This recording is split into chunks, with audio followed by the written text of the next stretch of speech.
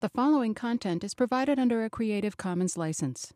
Your support will help MIT OpenCourseware continue to offer high quality educational resources for free.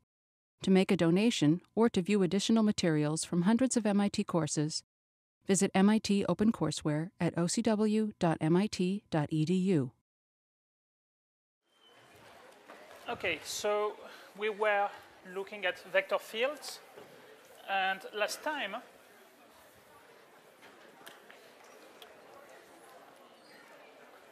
So last time we saw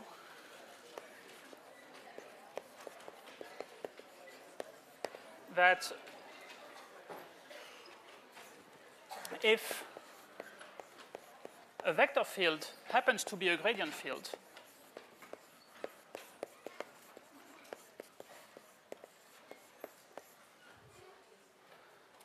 then the line integral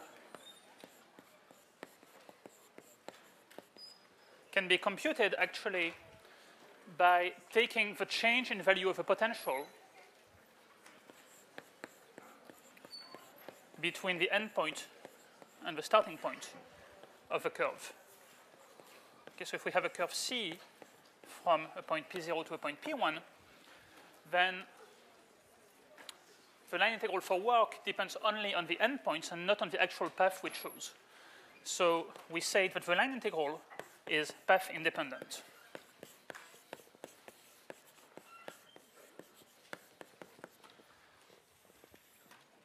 Okay, and we also said that the vector field is conservative because of conservation of energy, which tells you if you start at a point and you come back to the same point, then you haven't gotten any work out of that force. So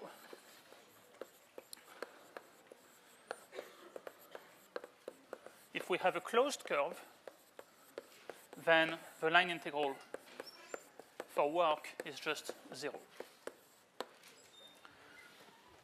And basically, we say that these properties are equivalent, being a gradient field, or being path independent, or being conservative. And what I promised to you is that today we would see a criterion to decide whether a vector field is a gradient field or not and how to find the potential function if it is a gradient field. Okay, so that's the topic for today. So, question is testing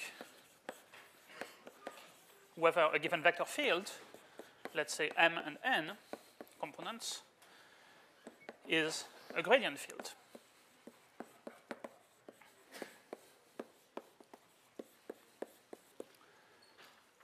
So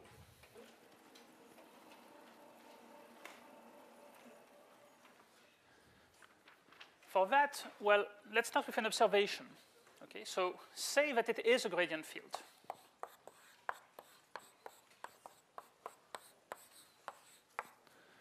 So that means that the first component of the field is just the partial of f with respect to some to the variable x. And the second component is the partial of f with respect to y. And now we have seen an interesting property of the second partial derivatives of a function, which is if you take the partial derivative first with respect to x, then with respect to y, or first with respect to y, then with respect to x, you get the same thing. So we know f sub xy equals f sub yx, and that means m sub y equals n sub x. Okay, so if you have a gradient field, then it should have this property. You take the y component, take the derivative with respect to x, take the x component, differentiate with respect to y, you should get the same answer. And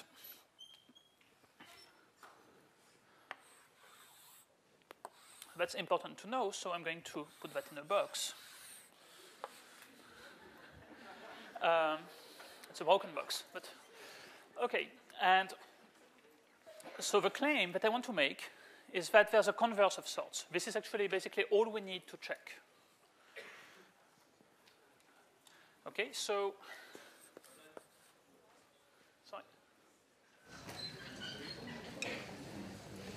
Uh, what's going on?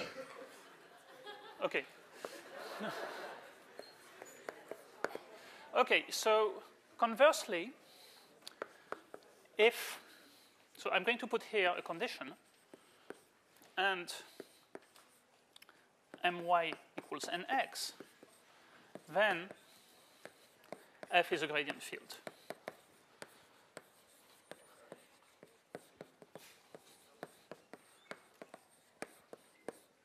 So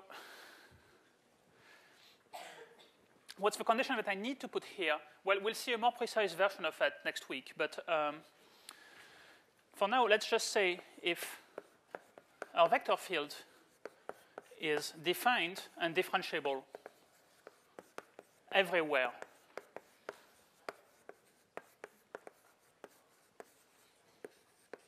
in the plane. Okay, so we need actually a vector field that's well defined everywhere. You're not allowed to have somehow places where it's not well defined. Uh, otherwise, actually, you have a counterexample on your problem set this week. If you look at the last problem on the problem set this week, it gives you a vector field that satisfies this condition everywhere where it's defined, but actually there's a point where it's not defined, and that causes it actually to somehow, I mean, everything that I'm going to say today breaks down for that example because of that. Um, so, I mean, we'll shed more light on this a bit later with the notion of simply connected regions and so on. But um, for now, let's just say if it's defined everywhere and satisfies this criterion, then it's a gradient field. So if you ignore, I mean, you know, if you ignore that technical condition, being a gradient field means essentially the same thing as having this property. So that's what we need to check.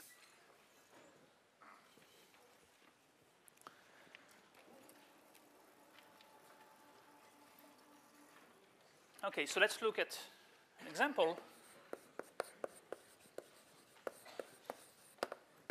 Well, one vector field that we've been looking at a lot was minus yi plus xj. Remember that was the vector field that looked like rotation at unit speed. Okay, so I think last time we already decided that this guy should not be allowed to be a gradient field and should not be conservative because if we integrate on the unit circle, then we'll get a positive answer. But let's check that indeed it fails our test. So, well, let's call this guy M. Let's, let's call this guy N. Then if you look at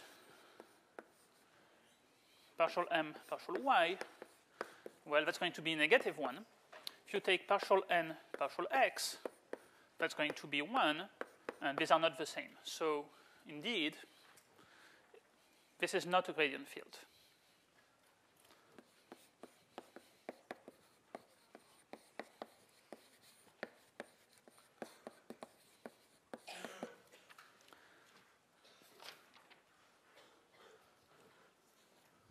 Okay, any questions about that? Yes? Mm -hmm.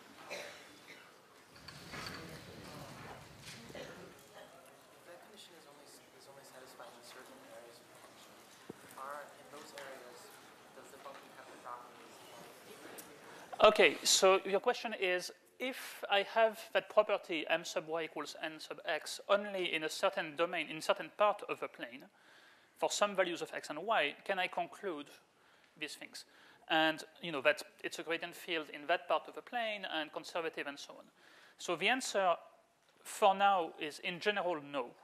And when we spend a bit more time on it, actually maybe I should move that up. Maybe we'll talk about it then you know, later this week instead of when I planned. But uh, so there's a notion of what it means for a region to be without holes. And basically, if you have that kind of property in a region that doesn't have any holes inside it, then things will work. The problem comes from the, your vector field satisfying this criterion in a region that has a hole in it. Because then what you don't know is whether your potential is actually well-defined and takes the same value when you move all around the hole. It might come back to take a different value. If you look carefully and think hard about the example on the problem set, that's exactly what happens there. Um, anyway, I mean, again, I will say more about that later. But so for now, we basically need our function to be. I mean, so I should still say, you know, if you have this property for a vector field that's not quite defined everywhere, you're more than welcome. You know, you should probably still try to look for a potential using the methods that we'll see, but something might go wrong later. You know, you might end up with a potential that's not well defined.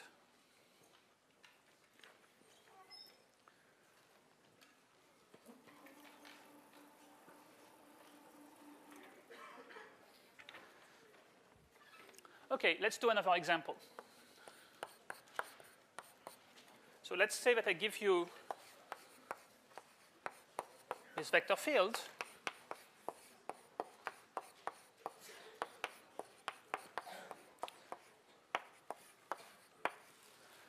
And the question is, you know, so this A here is a number.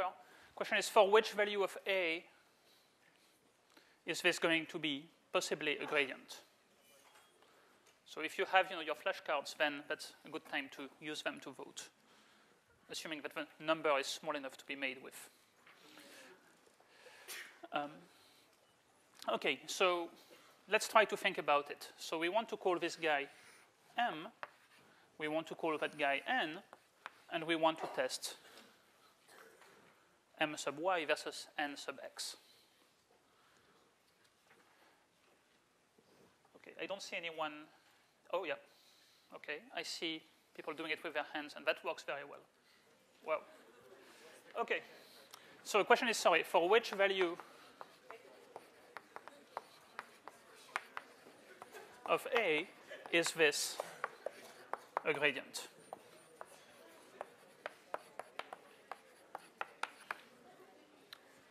Yeah, okay, so I see various people with the correct answer. And yes, okay. Uh, that's a strange answer on the, but yeah, I see. Okay, that's a good answer. Okay, so the vote seems to be for a equals 8. And let's see, well, if I take m sub y, that is going to be just ax.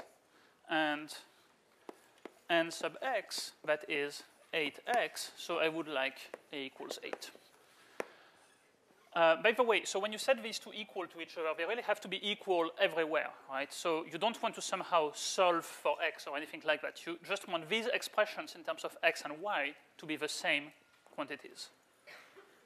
You know, I mean, you can't say, well, if x equals 0, they're always equal. Yeah, that's true, but that's not what we're asking. Okay. So now we come to the next stage of, you know, the next logical question. Let's say that we've passed the test. So we've put A equals 8 in here. So now it should be a potential. Uh, sorry, it should be a gradient field. The question is, how do we find the potential? So that becomes 8 from now on. The question is, how do we find the function which has this as gradient?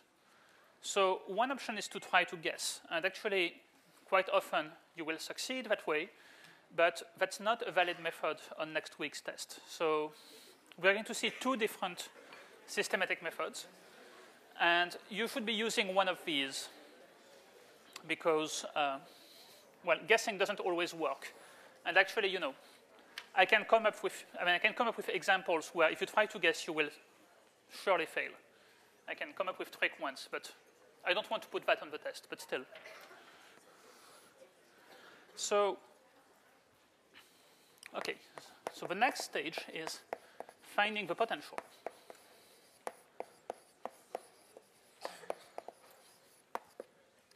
And let me just emphasize, we can only do that if, you know, step one was successful. If we don't have you know, if we have a vector field that cannot possibly be a gradient, then we shouldn't try to look for a potential. It's kind of obvious, but it's probably worth pointing out. So there's two methods, and the first method that we'll see is by computing line integrals.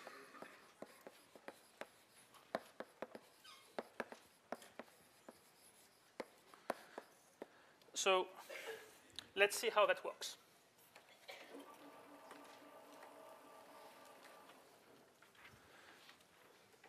So let's say that you know I start, I take some path that starts at the origin, or actually anywhere you want, but let's take the origin, that's my favorite point. And let's go to a point with coordinates, say, x1, y1. Okay, and let's take my favorite curve, and let's compute the line integral of that field along, you know, the work done along the curve. Well, by the fundamental theorem, that should be equal to the value of the potential at the endpoint minus the value at the origin. Okay. Well, so that means I can actually write f of x1, y1 equals, bless you,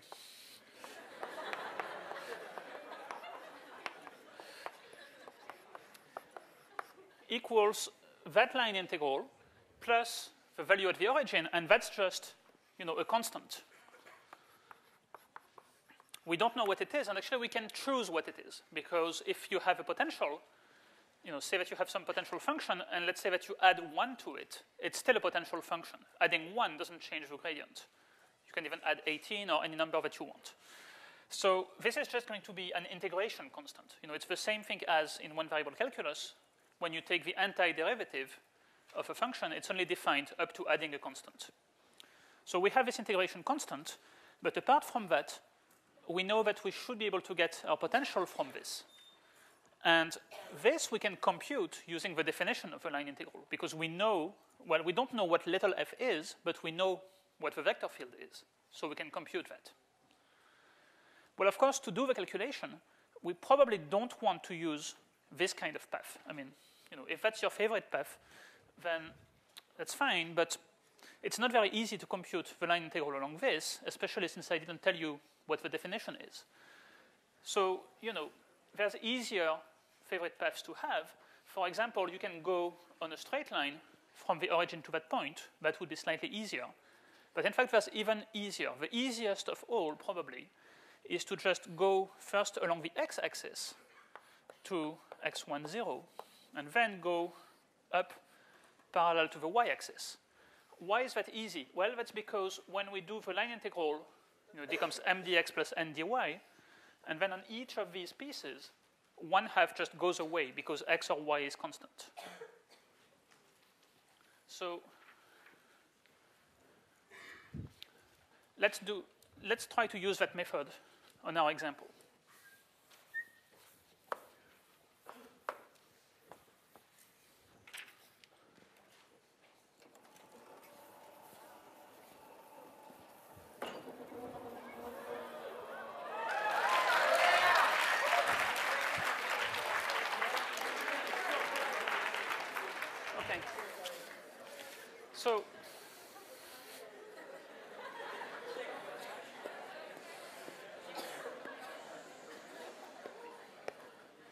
Okay, so let's say that I'm going to integrate, sorry, oh, how did I end up with two yellow?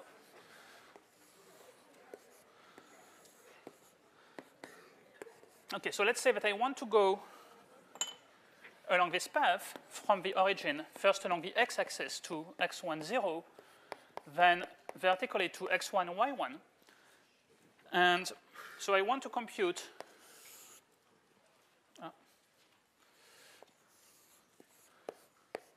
the line integral along that curve. So let's say I want to do it for this vector field. Okay, I want to find the potential for this vector field. So here, okay, let me copy it because I'll have to erase at some point. So it's 4x squared plus 8xy and 3y squared plus 4x squared. So that will become the integral of 4x squared plus 8xy dx plus 3y squared plus 4x squared dy. Now, to evaluate on this broken line, I will, of course, evaluate separately on each of the two segments. So I'll start with this segment that I will call C1, and then I will do this one that I call C2.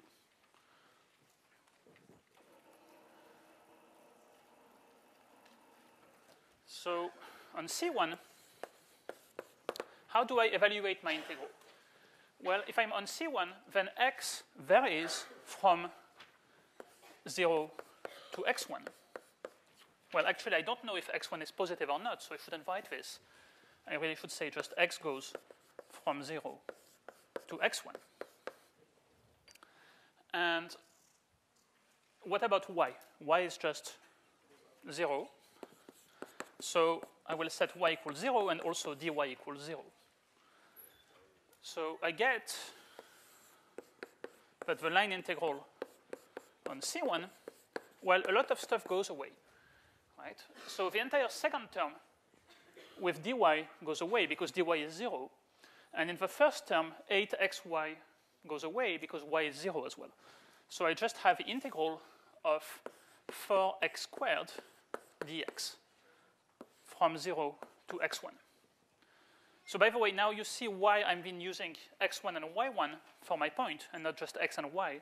It's to avoid confusion. You know, I'm using x and y as my integration variables and x1 and y1 as constants that are representing the endpoint of my path.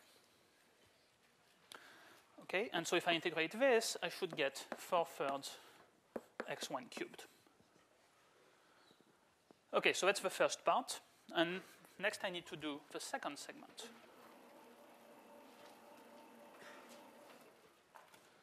So if I'm on C2, so y goes from 0 to y1. And what about x?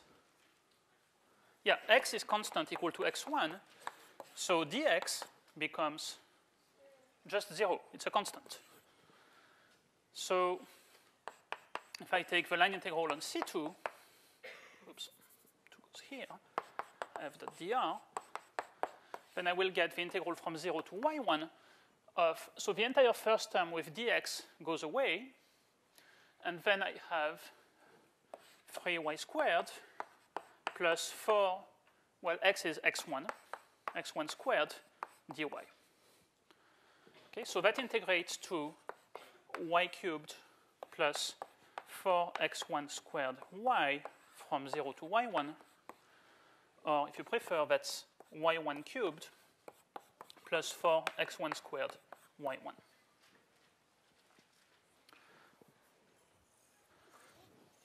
Okay, so now that we have done both of them, we can just add them together, and that will give us the formula for the potential.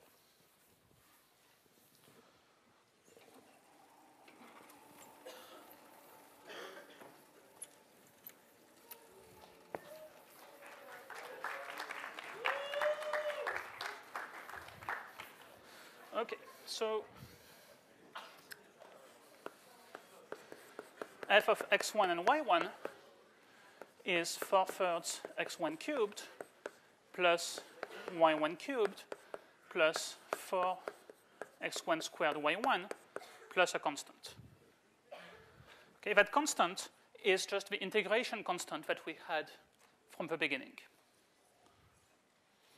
Or, you know, now you can drop the subscripts if you prefer. You can just say f is 4 thirds x cubed plus y cubed plus 4 x squared y plus constant. Okay, and you can check if you take the gradient of this, then you should get again this vector field over there. Okay, any questions about this method? Yes?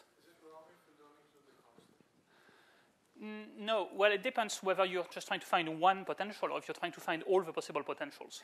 If a problem just says find a potential, then you don't have to include the constant. You know, this guy without the constant is a valid potential. Just you have others. You know, so if your neighbor comes to you and says, "Oh, your answer must be wrong. I got this plus 18," well, you know, both answers are correct.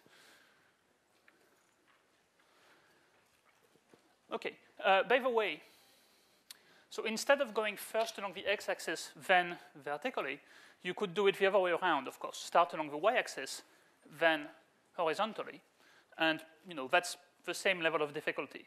You just exchange the roles of x and y. In some cases, it's actually even making more sense maybe to go radially straight out from the origin to your endpoint. But usually, this setting is easier just because, see, each of these two guys was actually very easy to compute.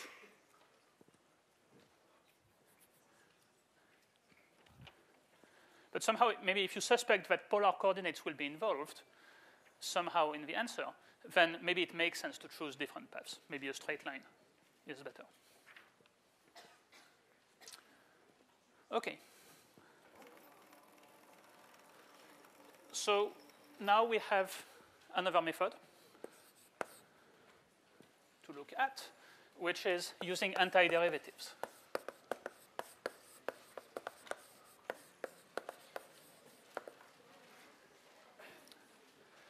Okay, so I mean the goal is the same, still to find the potential function. And you see that finding the potential is really the, two, the you know, multivariable analog of finding the antiderivative in one variable. So, you know, here we did it basically by hand by computing the integral. The other thing you could try to say is, wait, I already know how to take antiderivatives. Let's use that instead of computing integrals.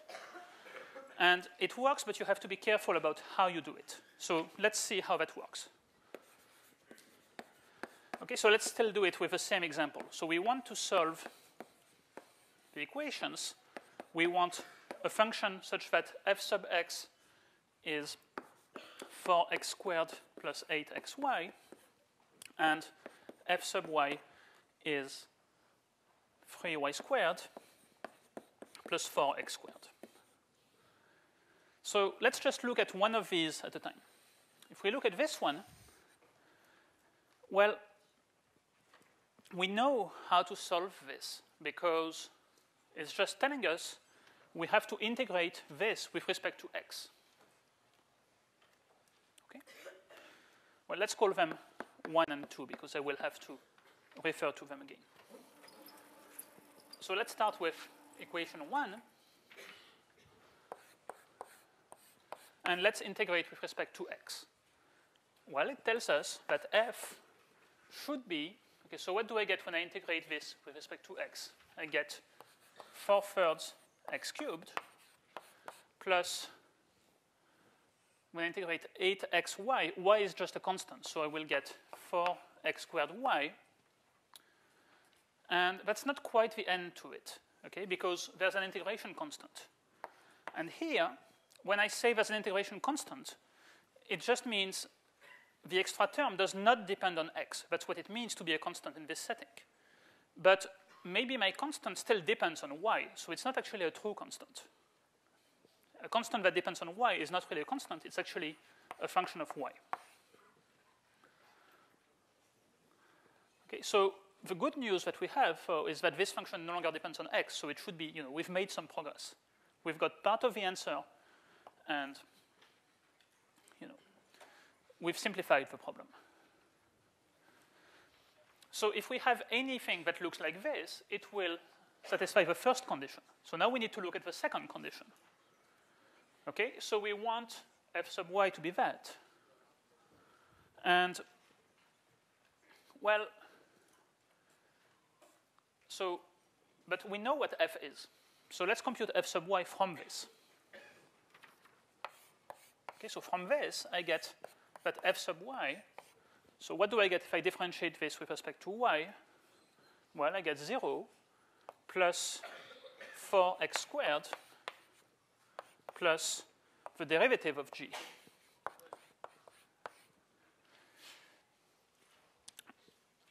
So I would like to match this with what I had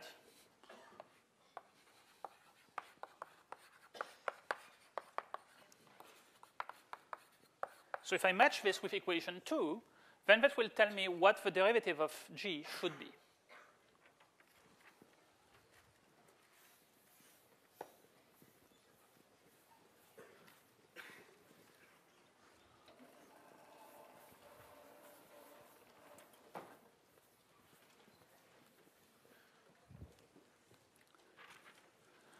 Okay, so if we compare the two things there, we get 4x squared plus g prime of y should be equal to 3y squared plus 4x squared. And of course, the 4x squares go away. That tells you g prime is 3y squared. And that integrates to y cubed plus constant. Now, this time, the constant is a true constant, okay, because g did not depend on anything other than y, and the constant does not depend on y, so it's really, it's a real constant now. So now we just plug this back into this guy, let's call him star.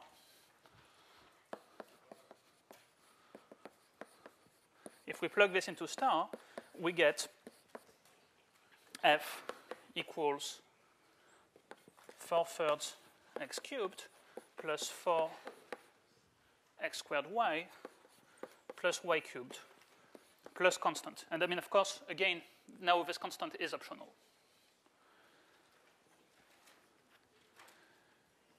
So you see, the advantage of this method is you don't have to write any integrals. The small drawback is you have to follow this procedure carefully. So by the way, one common pitfall, you know, it's tempting. So after you've done this, what's very tempting is to just say, oh, well, let's do the same with this guy. Let's integrate this with respect to y. You'll get another expression for f up to a constant that depends on x. And then let's match them. Well, the difficulty is matching is actually quite tricky because you don't know in advance whether there will be the same expression. You know, it could be that I got, you know, you could say, oh, let's just take the terms that are here and missing there and combine, you know, the terms that are, you know, take all the terms that appear in either one. That's actually not a good way to do it because if I put sufficiently complicated trig functions in there, then you might not be able to see that two terms are the same. You know, to take an easy one, let's say that here I have 1 plus tangent square, and here I have a cotangent square. Uh, sorry, I have a, I mean, secant square. Then, you know, you might not actually notice that there's a difference. But there's no difference, sorry. Well, whatever. Um, okay, so anyway, so I'm saying, you know, do it this way, don't do it any other way, because there's a risk of making a mistake otherwise. I mean, on the other hand, of course, you could start with integrating with respect to y, and then differentiate and match with the derivative with respect to x. But so what I'm saying is just, you know, take one of them, integrate, get an answer that involves a function of the other variable, then differentiate that answer and compare and see what you get. By the way, yeah, so here, of course, you know, after we simplified, there were only y's here. There were no x's. And that's kind of good news. I mean, if you had had an x, an x here in this expression, uh, that would have told you that something is going wrong. Right? g is a function of y only. So if you get an x here, maybe you want to go back and check whether it is really a gradient field. Yes? Yes, this will work with functions of more than two variables. So both methods work with more than two variables. So we're going to see it in the case where more than two means three. We're going to see that in a two or three weeks from now. Um, I mean, basically, starting at the end of next week, we're going to do triple integrals, line integrals in space, and so on. Um, so you know, the format is first we do everything in two variables, so then we'll do it in three variables, and what happens with more than three will be left to your imagination.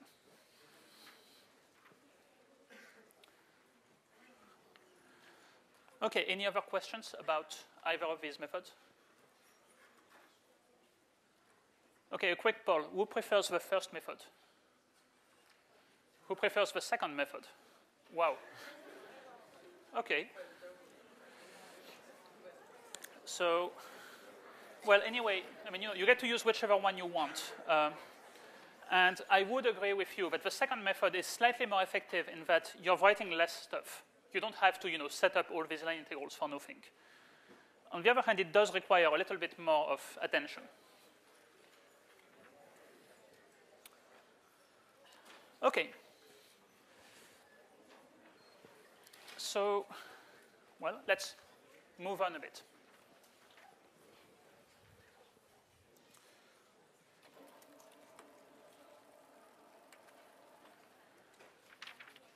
Well, let me start by actually doing a small recap. So we said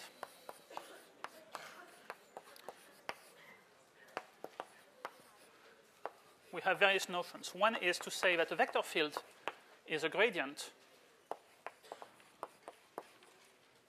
in a certain region of a plane.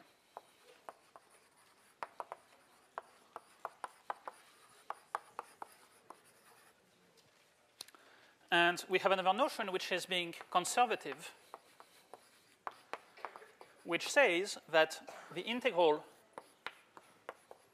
the line integral is zero along any closed curve.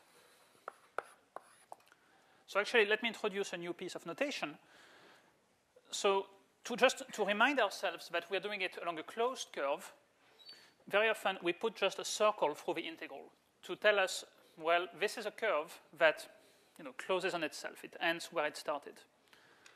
Um, I mean, it doesn't change anything concerning the definition or how you compute it or anything. It just reminds you that you're doing it on a closed curve.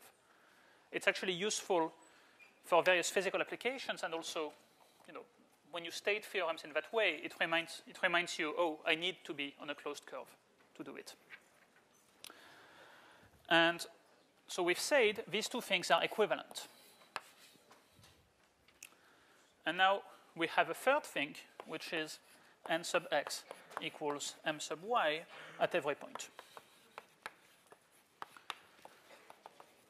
So just to summarize the discussion, we've said if we have a gradient field, then we have this. And the converse is true in suitable regions. So we have a converse if f is defined in the entire plane.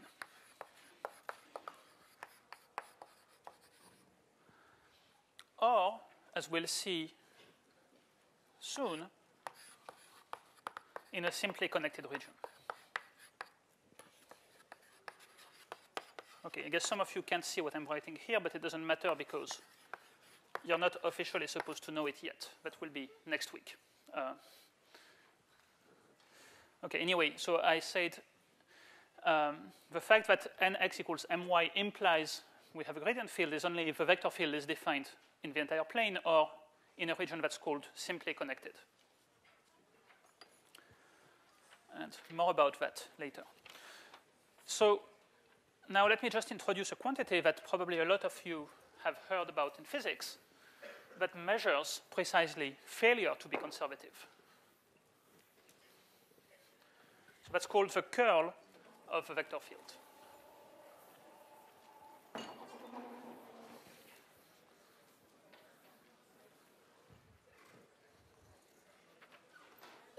Okay, so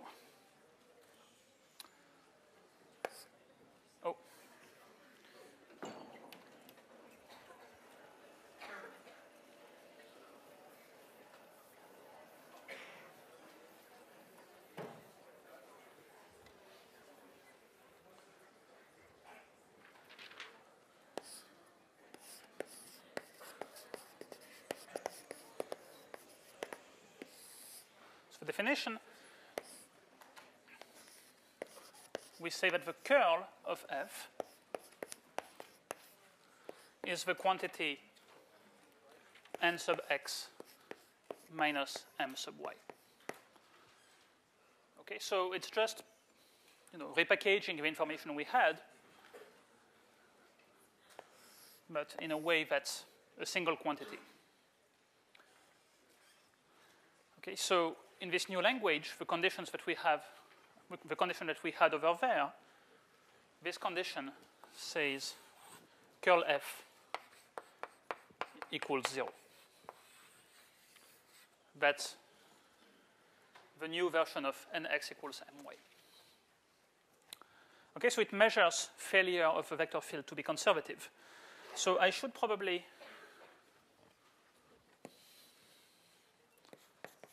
So the test for conservativeness is that the curl of f should be zero.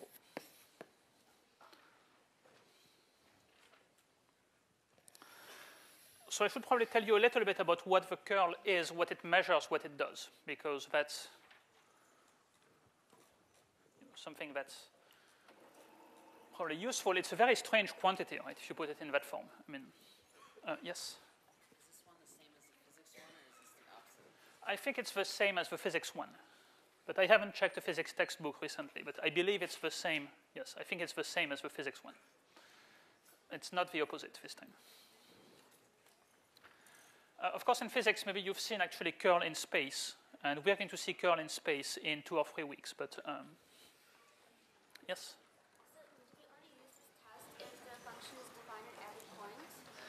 Uh, yes, well, you can also use it. So if you fail this test, then you know for sure that you're not a gradient field. So you might as well do that. If you satisfy the test, but you're not defined everywhere, then there's still a bit of ambiguity. And you don't know for sure.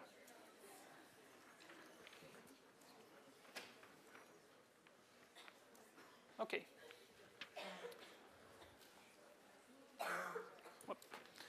Okay, so let's try to see a little bit what the curl measures. So I want to claim that, you know, just to give you some intuition, let's first think about a velocity field.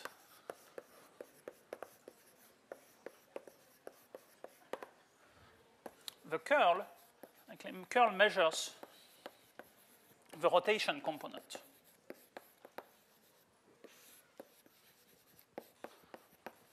of a motion. So if you want a fancy word uh, that measures the vorticity of a motion, it tells you how much twisting is taking place at a given point. Okay, so for example, you know, if I take, well, if I take a constant vector field, you know, where my fluid is just all moving in the same place, in the same, sorry, in the same direction, you know, where this is just constants, then of course the curl is zero because if you take the partials, you get zero. And indeed, that's not what you would call, you know, swirling. I mean, there's no, there's no vortex in here.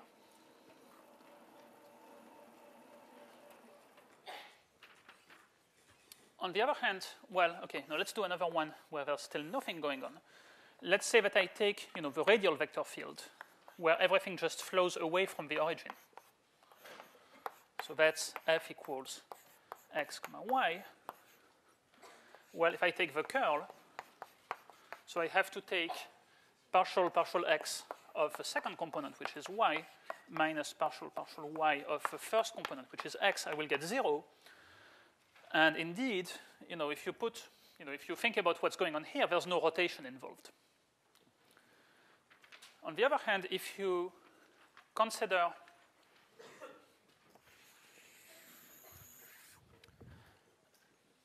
our favorite rotation vector field.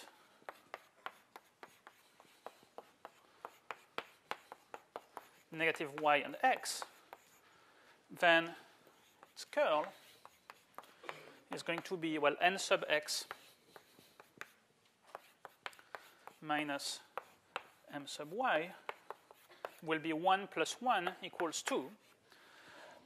And that corresponds to the fact that we are rotating Actually, we're rotating at unit angular speed. So the curl actually measures twice the angular speed of the rotation part of a motion at any given point.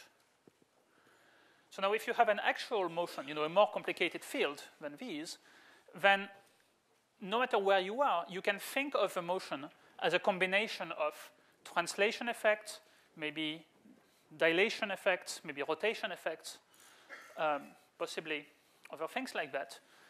And what the curl will, will measure is how intense the rotation effect is at that particular point. Okay, so I'm not going to try to make a much more precise statement. Well, I mean, the precise statement is, you know, what curl measures is really this quantity up there. But the intuition you should have is it measures how much rotation is taking place at any given point. And of course, in a complicated motion, you might have more rotation at some points than at some others, which is why the curl will depend on x and y. It's not just a constant because you know, how much you rotate depends on where you are.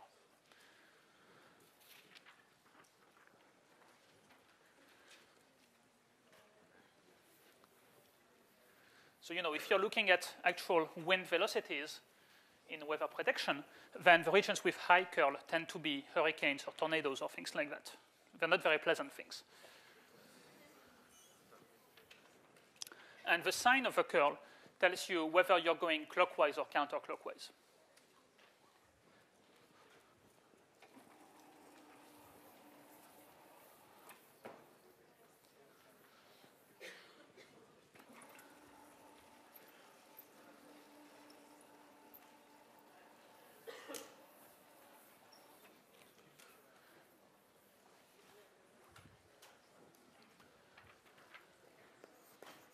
Okay, so curl measures,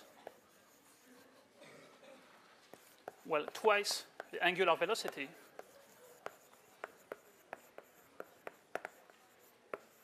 of the rotation component.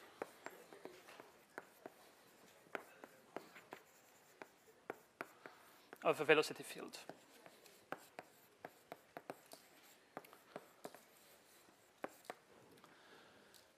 Now, what about a force field? Because after all, you know, where we got to this was coming from and trying to understand forces and the work they do. So I should tell you what it means for a force. Well, the curl of a force field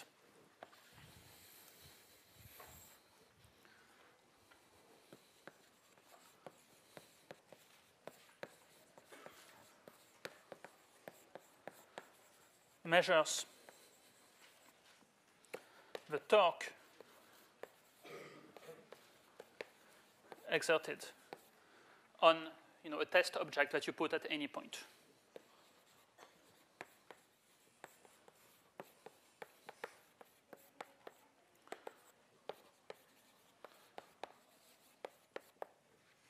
So remember, torque is the rotational analog of the force, uh, you know, we had this analogy about velocity versus angular velocity and mass versus moment of inertia.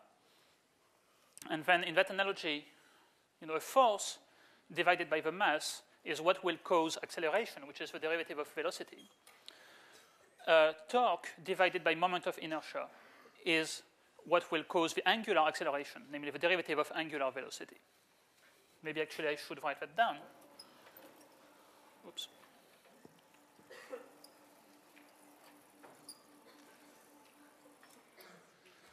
Okay, so torque divided by moment of inertia is going to be d dt of angular velocity.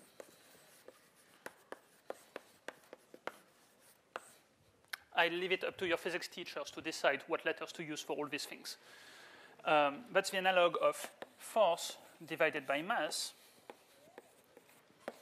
equals acceleration, which is d dt of velocity. And so now you see if the curl of a velocity field measures the angular velocity of its rotation, then, you know, by this analogy, the curl of a force field should measure the torque it exerts, it exerts on a mass per unit moment of inertia.